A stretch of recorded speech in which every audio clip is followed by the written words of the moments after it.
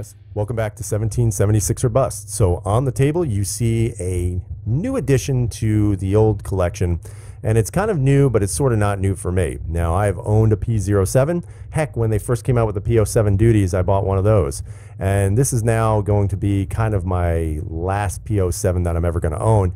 Not because I hate the gun, but because I really don't need another one. This one kind of fits me perfectly. You know, obviously they've come out with the black versions. They came out with the FDE ones, the urban gray ones, and then of course the OD green. I, I, really just like this one very much, so I went with the OD green to replace the one that I sold quite a while ago. Now, in regards to the P07, you know, for those of you who remember, they used to have the P07 duty. And interestingly enough, the P07 duty, guys, was a pretty solid offering from CZ. It certainly was not the best. Uh, there were definitely some problems with the handgun, you know, from the slide finish to just the, the edging in regards to the slide because it had a lot of sharp points on it.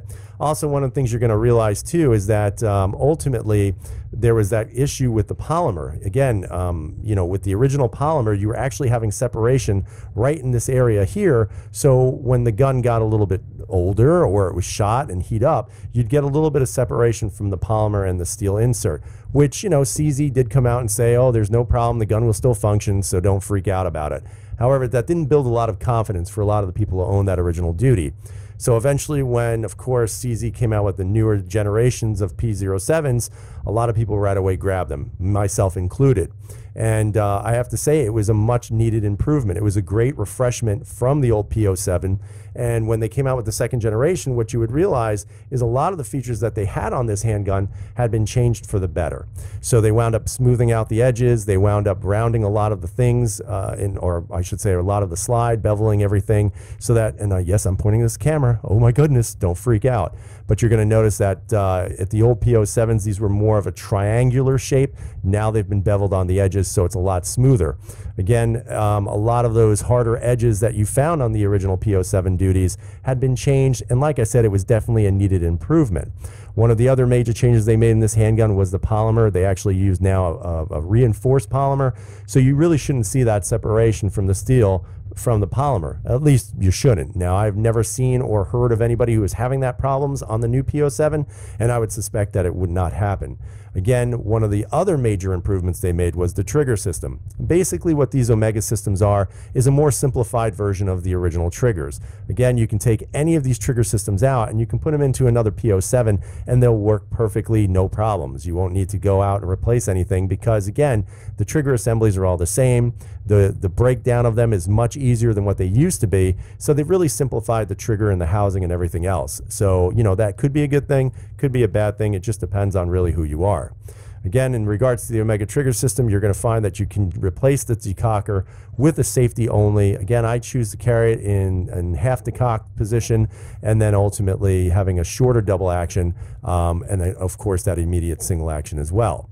Now, again, when the P07 was created, it really was created to be a more direct competitor with, of course, the heralded Glock 19. Now, again, there were some obviously glaring differences. First off, it's a double action, single action hammer fired handgun versus the classic striker fired handgun that Glock was used to making. Again, size wise, it's relatively the same. Um, this one's slightly larger, but not by much. Certainly uh, feels a very similar feel to a Glock, and maybe not as boxy or blocky as a Glock, but nonetheless relatively the same size. Again, fit and finish on the newer versions are much better, so they definitely made it more competitive with some of the other handguns out there.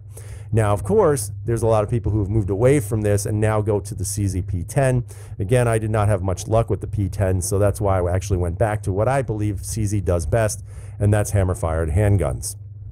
Now, if there was one major complaint I would have about this particular model of gun, the P07, in my opinion, probably has one of the worst double single action triggers of any CZ that I've ever owned. Now, does that make it a terrible gun? Absolutely not. You know, you sit there, you shoot it at the range, you get really adjusted to that double action pull, and you should be fairly uh, efficient with that handgun.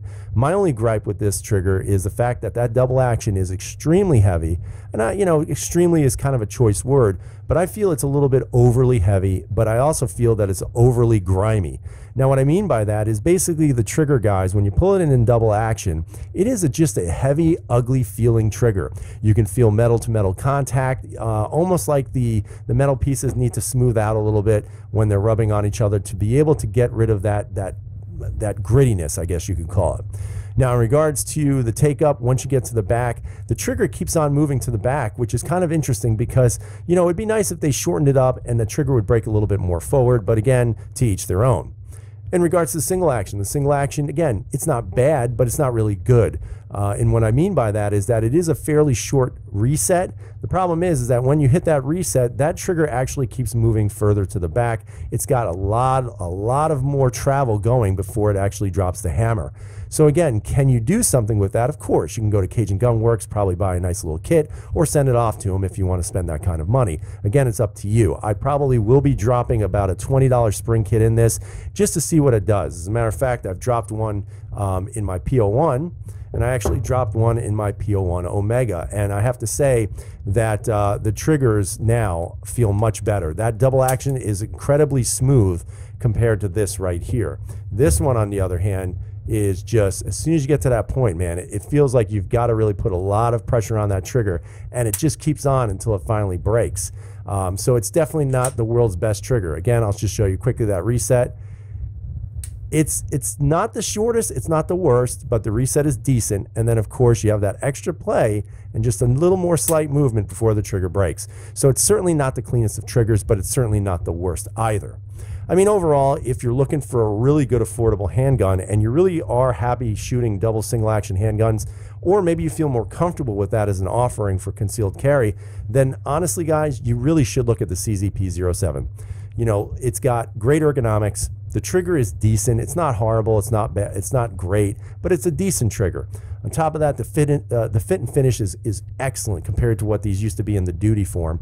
And then ultimately, the price. The price on these handguns are fantastic. Now, obviously, you're going to probably pay a little bit more for the ones that come in the FDE version or the OD Green version. Why? Well, because you're getting the night sights from the factory. If you want to pay less, you go with the black model that probably won't have those night sights, and you can probably find those right now sometimes for 400, maybe 450, even sometimes lower, depending on what the sales are and where you're looking. Overall, I've been very satisfied with the P07. I, I think it's a great handgun. I don't see um, why somebody wouldn't want to get something like this. Now, of course, like I said before, a lot of people are kind of turning away from the P07 and jumping on that P10 wagon. And I, I, don't know if that's the right thing or the wrong thing. Again, I know for me personally, I did not have very good luck with the P10s, and that's why I went back to that. And the simple reason is because honestly, guys, if I was going to look at a P, or excuse me, if I was going to look at any CZs, in my opinion, they should have a hammer. And the reason why is because to me, they make them extremely efficient. The fit and finish of them are fantastic. And overall, I've had no problems with any of these handguns on the table at this point. Obviously, this has the least amount of rounds through it. This one is really just sitting in my safe doing nothing. But this one I've carried, this one I've shot through quite a bit and have had zero problems with it. Now, on the last note, again, I think one of the most debatable factors in all CZs right now are the trigger shapes. So in regards to the P01, the original one right here that I have on the top, if I zoom in really quick, you'll notice that obviously the shapes of the triggers are completely different. On the original P01, you have more of that hook trigger. Some people say that it stings their finger when they shoot it, which is kind of interesting because I've never experienced that. And what's even more interesting is, as you can see on the P07, with that, not necessarily super flat trigger, but just a little bit of a curve in that trigger, I've actually noticed more of a uh, vibration in this trigger than in this trigger. And the only thing I can really relate that to is just simply the fact that this metal, the steel they use on this trigger, is a little bit thinner than what they have on the original curved trigger. So I think when you feel the vibration from the gun shooting, it, this distributes it a little bit better to the finger than uh, honestly this one. But again, that's just what I found. It doesn't necessarily make it true. So I'd love to hear what you guys have to say. Tell me what you think about the P07. Do you think the P07 still has, um, I guess you could say, a place somewhere in your collection? Tell me if you carry it. Tell me if you love it. Tell me if you hate it. Or better yet, tell me what you replaced it with. So I hope you guys have a great night. Thumbs up or thumbs down, totally up to you. If you haven't subscribed, please subscribe. Have a great night, night, night. Stay safe, and as always, freedom is never free.